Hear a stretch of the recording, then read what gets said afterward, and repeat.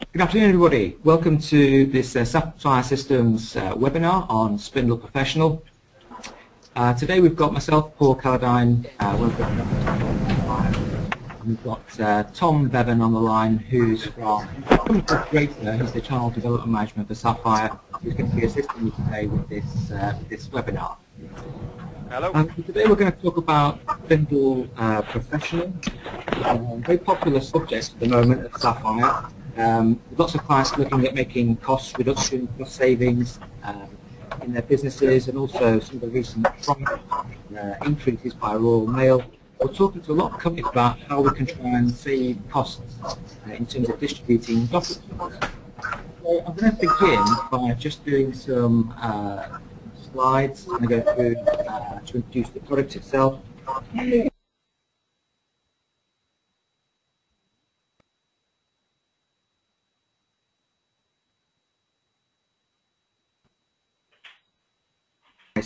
Return on, uh, return on investment examples. We've got plenty of time for questions uh, before we leave you. We should be finished well within uh, the hour allotted for this webinar. Okay, so just to begin,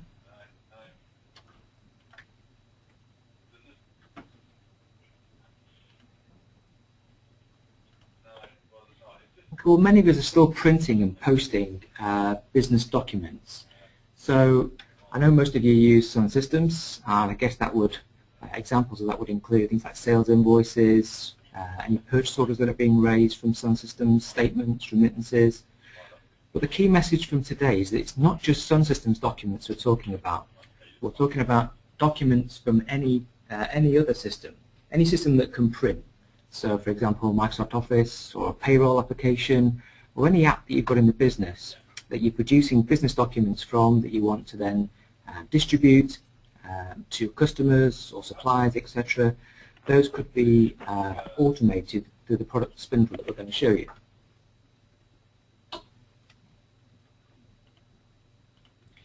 And printing, well that's become increasingly expensive. If we think about the types of costs that we have when we're printing documents out. We've got uh, expensive printer toner, expensive paper, um, envelopes and uh, compliment slips, that kind of thing. Royal Mail recently put their prices up uh, significantly, so we're now looking at between sort of 15, 60 pence for uh, second and first class. Posting can also be pretty unreliable too, so there's no real uh, proof that we've actually sent the document to somebody apart from if we're going to go for, again, additional cost uh, services like special or recorded delivery. And if we're really honest, no one particularly likes having to do the job of printing and stuffing the envelopes and distrib distributing them out by post. So what can, uh, what can Sapphire offer its customers? Well, that's what we want to introduce. A product called uh, Spindle Professional. It's been on the market for uh, a good long while and used predominantly with companies uh, using financials or CRM applications but as we said at the start, it's uh, very independent to any application that can print. At its heart, it's an actual uh, intelligent Windows printer driver uh, that allows us to distribute documents um, intelligently as well. So pick up variables that are on those documents, such as email addresses, uh, if you've got them, but alternatively, it's able to fax them uh, to customers or suppliers, and if failing that, we can also print them out uh, and distribute them uh, manually. It allows us to apply a corporate um, template or logo to our documents. Um, so we're going to have a look at some of those examples. That again could be quite sophisticated, so we could be using different templates based on uh, different uh, customers that we're dealing with perhaps, or depending on the data itself um, that's being produced. So if it's a statement, uh, it could use one particular branding if it's overdue or um, another branding if it's, uh, if it's inside your payment terms. And also we're going to have a, have a look at how we can archive documents, so not just distributing them and sending them out the business, but also keeping an archive copy locally, perhaps uh, just in a file system, or uh, anybody using SharePoint out there, we can automatically save documents uh, to SharePoint directly. So if we look at a quick example here um, about Spindle Professional, over on the left here we're going to print our documents from our various Windows applications. and that's going to get sent to our Spindle Pro print driver. And as an example, this could automatically, as one seamless process, email perhaps uh, a copy to a recipient. It could fax uh, a copy to somebody who hasn't got an email, and likewise it could print out a copy um, for those with no fax or email. We could automatically archive that onto a network drive or onto our SharePoint server. And that could be an automated process just from uh, one click. So why we're looking at Spindle Professional? Well, as, as we said at the start, cost savings are a, a, big topic at the moment, and this product helps us to uh, reduce our cost savings significantly, not just in the delivery uh, of those uh, documents, so replacing a posted output, but also replacing perhaps the cost of pre-printed stationery, uh, and envelopes, etc. And also, because the process can be uh, automated, we can reduce some of the human error and make sure documents that perhaps have multiple recipients uh, are sent to people correctly with an archive copy uh, for backup as well. And I think Tom's going to show us as well how we can also uh, incorporate things like terms and conditions. Um, so maybe if it's a purchase order, you might want to attach your T's and C's to a document output. But in addition to the output of a purchase order, you might want to send out uh, a subsequent attachment or perhaps something that's uh, seasonal or promotionally related. So we've got a number of cost savings that we can achieve, and we're going to come back to this at the end and show you some, uh, some actual examples. We can also help you to improve communication, so make sure that the documents are being saved uh, locally. So if it's a remittance advice and you want proof of that, and you want to save it locally, then you could uh, upload that to your network drive uh, or to SharePoint, even send a copy to um, somebody who raised the invoice. We've got the green tick, so uh, by saving on uh, paper and um, uh, pre-printed stationery, we're helping to reduce the, uh, the amounts of uh, you know, damage to the environment.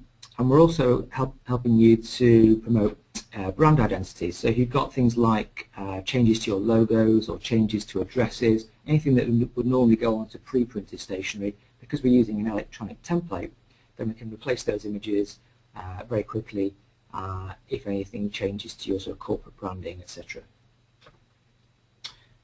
Okay, so without further ado, we're going to give you a demonstration. Here we're going to show you an example uh, using Sun Systems. So we're going to show you a, a remittance example, but Tom's going to show us also um, using something other than Sun Systems, so just another other Windows application. Uh, so I'm going to hand over to uh, Tom Bowen and just pass him control. Hi there guys, can you hear me okay, am I still on mute? I can hear you fine, Tom. Magic. Okay, so we'll start off with something fairly familiar, which will be Sun Systems. And what we're going to do is um, going to run through a few different types of automation. So one document that's really common for Sun Systems people that's a pain to get out of the building in a, in a much more cheap way is, is things like remittances, payment documents. So what we're going to do is the first thing we're going to do is take a batch of documents and we're going to automate them through Spindle. So as Paul mentioned, the key thing with Spindle, there's a number of different benefits like brand, like making things look better, like making things quicker process. But the real key benefit is the fact we're going to save a lot of money by delivering documents automatically by email rather than by printing and posting things. So I'm just going to go through a process. I'm just going to do some reprints of some remittances here, but obviously it wouldn't really matter what you're going to be doing. It's just a quicker process for me rather than having to create a whole new batch. And what you'll notice is the key thing with Spindle is there's, there's no real training required. It's a one-click process. So what we've got here is a, is a print preview of the report. Now what you might notice is there's some extra little commands in here. These are what we call hash hash commands. And the hash hash commands basically used for kind of harvesting data from within the report writer. So it's really simple. That's all we add to a document. Now for your documents within your own system, you're not going to see them. They'll be tucked away and uh, hidden away so you won't see them. But this is just for us to explain how it would work. So all I'm going to do is hit the print button and print printed Spindle. So you've basically just had Spindle user training, which is pretty quick, I know. It's one of the things people like about it is that it means that we can move to a much, much quicker process. Now what you'll start seeing now is Spindle picking up the documents and automating them out. So now what we've got, Spindle's taken the remittance, it's turned it first of all into a PDF, and then it's also sent it with a nice professional looking HTML email. So Spindle's done a number of things. Because we're using those hash hash commands, and we're harvesting that data, we can then start to use that data to do a number of different things with. So for example, we can pick up that data and embed it into a nice professional looking HTML email that carries your corporate identity. Now this could be for remittances, it could be for invoices, statements, purchase orders, whatever document you want from virtually any system that you have. So we can kind of carry a much more consistent image. Um, most companies I'm talking to to um, have nice websites now and nice marketing collateral. And then when you start dealing with a company, most of the documents that you receive are coming from an accounts department, which don't always carry that high level of design. What we're trying to do is make it very, very easy for people to do that at a very low cost. So what Spindle's done here is we've got our brand, we've got relevant contextual information. It's pulled through things like the company's name, uh, the account code, the recipient, the date, timestamp, the company it's being sent from, and also, importantly, if I'm doing a remittance, the amount I'm paying you and that's been embedded into the document here. Now what happens if we have a look at the document itself? We don't actually change the text of the document. All we do is we lay behind it backdrops or stamp in front of it overlays to make it look and feel pretty much however we want it to look and feel. So we can have multiple backdrops, multiple overlays to give it a much more kind of, um, much more commercial feel to it. Now this is a really simple document. A remittance doesn't need to be too fancy, so you've got a real quite straightforward basic document here. But what we'll do in a minute, we'll come out of Sun Systems and we'll start showing you some documents from a more generic system and we'll show you some of the more fancy things we can do with the documents. Okay? So that's my document emailed. We could, if we want to, fax the document. I'll come and show you faxing in a minute. But a really important thing is how we can also then archive documents and make them available to other people. Now, some of you may use different means of archiving documents. You may use things like a document management system. You may use things like SharePoint. You may use things like uh, CRM. Spindle can integrate with all of those systems. So, for example, if you have a CRM system, if you're using something like Dynamics CRM, we can automatically create activities against the contacts within CRM. If you're using things like uh, SharePoint, Spindle can automatically create SharePoint libraries and then because we're harvesting that data, we call it metadata, because we're harvesting that data, we can then index against that data into SharePoint automatically. Here's a real simple example of it using a network drive. So Spindle can create me a, a network path here. So the path is going to be C slash sunbank slash remittances slash PK1. Then what it does is it sees a new company and it will automatically create me the new folder for that company. What it can then do as well is it can automatically name the folder structure and the folder substructure on the fly without me having to do anything. And then really cleverly, it can also automatically name the documents based on what you're telling it to, which is again based on that data that's coming out of the document itself.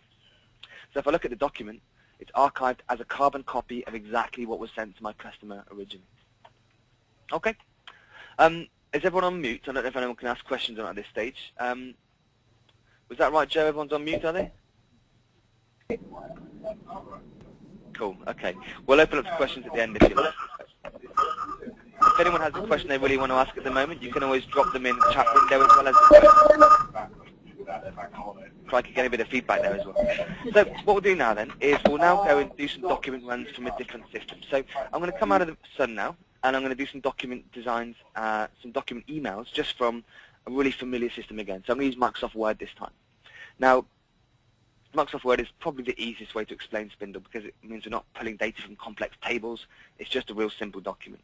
Now, again, what we'll do, we'll do a statement this time. Like I said, it doesn't really matter what document we're choosing, where the document comes from.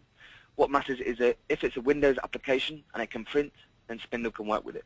Again, I've left my commands here visible so you can see what we're doing. But effectively what we're doing is a mail merge here. Now normally we'd take away these commands so they're invisible, but it helps you understand what we're doing. We have like a command which picks up a value, and then our little hash hashes tell Spindle to pick it up and then use it. So hopefully that's not too complicated. So what we're going to do, I'm going to just merge this to my printer. So I'm going to do a statement batch, I'm going to hit the print button, and I'm going to print it to Spindle Pro Auto. So using Spindle is no more complicated than just using a straightforward printer that you do every day. The cool thing is, is rather than you having to go to a printer, pick up tons of paper, stick it in the post, and wait for a couple of days for it to get what it's got to go to, whilst paying for the privilege, you can hit one button, automatically Spindle's taken that document, branded it, made it look nice, automated it to the right person in the right format in the right way. So for example, some of these documents are going to go by email. Some of them are going to go by fax. Some are going to be printed and posted still. And also we can start archiving and indexing things to different places all at the same time. And all we ever do is one mouse click. So I hope you remember earlier on we were talking about us kind of harvesting data or picking up bits of data from the report or from the host application. I'm doing a little bit more with my statement here because I'm picking up extra things. I'm not just picking up the recipient's name, the customer's name, the account reference. I'm also picking up things like the aging criteria, so the, the aging buckets that we're sitting in. So these guys are current. So I've got £4,775, which is current, nothing really overdue yet. So if I have a look at the statement design, again, so this is a different company, I should explain. We can make the document look and feel however we want based on variable dynamic data. So for example, I've got within this company multiple different divisions, and each division has a different brand to it. So I've got Homestyle Construction, I've got Homestyle DIY, I've got Homestyle Trade, and each one of those, in my case, just has a different color brand to it. So you can choose the different stationary layouts dependent upon variable data. And in this case, I'm using what we call an analysis code, which you know you've got analysis codes or analysis dimensions within Sun. We can use those to pick and choose different backdrops. What we've also got here is I'm highlighting the fact that we're sitting at current, which is all good. Now, what happens if somebody's not quite such a good payer, which is often the case these days? Um, these guys are a bit later. These guys are sitting, they've got 5,500 at 90 days. So if we then have a look at the document itself, Spindle's intelligent enough to know that it's overdue. It'll highlight the fact that it's overdue and put a nice big red cheesy overdue stamp across the document. So what we're doing basically is changing the look and feel of documents based on contextual information. And we can go crazy with it. Some people do really, really advanced things with this. Some people just like to keep it nice and simple. Effectively, it's priced for something incredibly simple, but does a whole load more stuff if you wanted to. Um, like I said, we've got different companies. Um, I've got my Homestyle Retail division, and that's going to have different relevant contextual information that's relevant to this particular company. So these guys have got links on my emails to kind of 5% discounts on stock, whereas these guys have got links to trade catalogs. If I go further up here, I'm going to have some different colors again, which is good green. This is my Homestyle Kitchens trade division. These guys are going to have links to my trade division. Again, it's still got the same stuff going on with it, with with the station, statement design. We've got the overdue stamps, and we're still highlighting the fact that we're overdue. Now, you might notice as well, we can go and grab relevant contextual attachments as well. So for example, if you're doing a statement run like we're doing here, I can go and grab the overdue invoices and attach it to the statement run that goes out. So you can get away with that most common excuse, sorry, I haven't got the invoice. That could work for purchase orders. You might want to go and grab relevant terms. You might want to go and grab relevant marketing materials at the same time. Now, at the same time as delivering documents to my customers, I might also sometimes want to copy in people within my organization. So as an example, when I'm doing a statement run, you're not going to want to send statements to all your sales teams all the time. But when a company is overdue, it might be useful for your sales team to understand they're overdue so they can be aware of what's going on. So what Spindle's done here is, you know, your salespeople's email addresses and contact information might not reside within Sun or your host application. It might be someplace else in a different table. Spindle can pick up the data from that external table as long as it's got something to reference it by. So in this case, the company name, we know who the account manager is, we can go and pick up their email address automatically and start using things like criteria. So for example, if the account is overdue, let's go and copy in a salesperson. They again have got a different version of the paperwork, which is a generic branded copy. Smacks overdue across it in really big cheesy red writing, and also highlights the fact that it's overdue. So if you think about why you do this, salespeople often moan that they're trying to sell to people that we in finance have put on stop or put on hold. It's good for them to be aware of what's going on if people are going on stop. Okay, we've done a bit of emailing with different design backdrops, with different attachments, and different relevant contextual information. We can also then deliver in different ways, and the documents can look differently depending upon how we're delivering it. So we can also fax documents. This was the same statement batch I just did, but in this case it's going to look slightly different because Spindle's intelligent enough to know that if we're going to be delivering something by fax, we don't want it to be full color with complex kind of watermark images behind it. We want it to be nice, clean, and very simple. So when it gets sent to the fax machine at the other end, it's going to be legible. So it's intelligent enough to do that. Okay, what we'll do is we'll do one more document type, and then we'll kind of hand back to Paul to kind of do a wrap-up. And then if you like, we can do a bit of a return on investment to work out the sort of savings you can see by using Spindle. So, Paul, what sort of document do you want me to do now? Should we do a purchase order? Let's do a purchase order. So same yeah, process sounds good. before. Same process. I'm just going to print this batch of POs off. Um, Spindle's also got this thing called Spindle Pro as well, which I've not talked about yet. Spindle Pro allows you to kind of interact with it if you want to. So you can have Spindle Pro Auto, which means things just ping straight off, or we can then start telling it manually what we want it to do. We're not going to do that for now. We're just going to use the automation and go OK and ping it straight off through the door. So literally immediately we've got some POs coming off now. And what this is doing is it's picking up more contextual relevant data. So as well as picking up things like the customer's name, uh, my suppliers, sorry, my suppliers name I should say, time, date stamp, we're also picking up things like the delivery information. So if you have multiple depots, multiple sites, Spindle can pick up that data and go and grab me relevant attachments for that. I'm ordering quite big stuff here. It's a kitchen company, and I have different depots, some of which are difficult to get to. So for example, if I look at my purchase order, it's a straightforward purchase order, which looks pretty normal. Well, I think it's quite nice, but I would say that. Um, which could, if you want have the relevant terms and conditions on the back. But what we've also done is, because we know it's going to be delivered to Henley Park, Spindle can go and grab the Henley Park attachments, which in this case is a document which is going to be sent to the delivery people, saying here's Henley, site, Henley Park site instruction, here's when it's open, here's a little Google map telling me when things can be delivered and how big things can get through that area. So we can go and grab pretty much any attachments you want. Some people might say, I'm an import-export company. You might have specific import and export documents that relate to a particular document type. We can go and grab them without too much hassle at all. And again, some of these are going to go by fax. So I've got my invoices and POs going by fax in exactly the same format. Cool. So I think I've given you a bit of an overview. I mean, I've done the same thing a few times in slightly different ways. So hopefully that's given you a bit of an overview as to what we can do with Spindle. Um, like I said, if anyone needs to see a more in-depth demonstration, we can kind of do those one-to-one -one if you like. But what I'll do now is I'll, I'll, hand back to Paul, and thank you for your time. Over to you, Paul. Thanks very much, back. Tom. Thank you very much indeed. I've pinged you the control, Paul. That's great. I've got that back. Okay, well, thanks very much, Tom. That's been a really useful overview.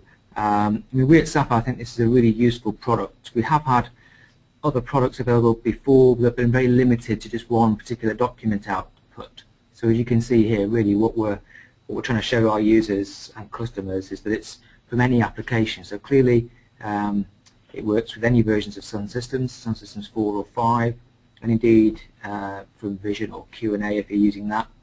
And of course it will support multiple uh, document outputs as well. So um, purchase order statements, remittances, you might have a number of these that are all behaving in slightly different ways. So what we want to move on to now really is just to show you a little bit about how uh, the sort of costings work. First of all, I'm going to work through, um, let's move this slide on, an example of the types of cost savings. Now this uh, screenshot that you're just seeing here, um, Draycir have a very useful uh, return on investment or ROI calculator that you can use for yourself. So I've just done a, a very uh, modest example, if you like, of um, an indicative company that's going to send out, or does send out at the moment, about 200 uh, invoices. So there's a number of document types that we can select here uh, as examples, invoices, remittances, and perhaps a few orders. And this is per month. And then we've got a sliding scale here of currently what ratio or proportion do we uh, distribute by post and what do we think might be able to go out uh, electronically. So you can play around with these figures and just as an indication we're looking at potential savings here down the bottom of uh, just over £400 a month or around £5,000 uh, per annum. So as I say you can uh, play around with this and work out your own sort of savings in terms of investment, though, just to sort of contrast that, I'm going to go through a couple of examples of um, what sort of typical project costs might be. If you want to use this um, calculator for yourselves, you can just go to this web address. We'll be sharing this set of, set of slides after the session, and you'll be able to click on the hyperlink there. So if we have a look at um, some example costs. Now, with any um, project, there's usually three main costs that we need to consider. There's the software, which is normally a one-off uh, license, and Spindle Pro is purchased per, per PC or per device that is being used. So you can purchase just a minimum of one. And if that was the case, your investment would be around £870 as a one-off license fee. There's also a uh, second cost, which is for uh, support and, uh, and for maintenance and upgrades. Uh, for the first year, Uh, based on one PC, we're looking at an annual cost of 316. And then what I've assumed here is that we're going to take um, some services from Sapphire to help implement it in terms of inst installation, doing some setup and training, perhaps for uh, one or two uh, document output types. So I'm going to put a day of services in there. So we're looking at an investment total of around about just over uh, £2,000. So if we're looking at the example we gave before, at the annual saving uh, of £5,000, we're looking at ROI being achieved in under six months for a typical project. Clearly you would have the ongoing cost of support, um, but obviously no, no further ongoing costs uh, for software or for services. Um, so that's a sort of simple, very simple example. But even if we up that, even if we increase it to say, well actually we want to have uh, five PC licenses, here we're looking at an initial one-off license investment of just under £2,000. Our annual support cost uh, would then go up to about 706. And again, I'm going to assume here we're going to do a few more document outputs. So, you know, two, three or four outputs, maybe a couple of days services to help get those uh, set up, get you trained and everything implemented. But even then, when your investment is uh, 4640, with our annual savings at 5,000, again we're looking at an ROI being achieved within uh, within a 12-month time frame, which I think in today's climate is uh, very attractive indeed. Okay, so just to summarise what we've shown you, um, we're clearly looking at, uh, in terms of benefits, ideally reducing uh, reducing the costs to the business of those, but also helping you create a more professional image. I know some of you use uh, older versions of Sun Systems where the output is fairly limited and you're pretty reliant on uh, pre-printed stationery. But equally, if you're using later versions of Sun Systems 5, um, it's much easier to uh, to alter these professional images and templates um, with Spindle itself.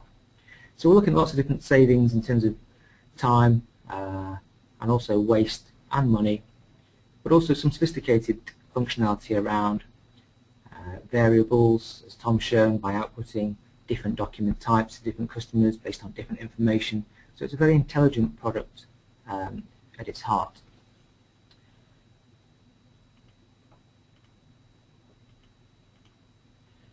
Now this was just an overview session today uh, for that last sort of 30 minutes. But if you want any further information, then do uh, give us a call here at uh, Sapphire Manchester.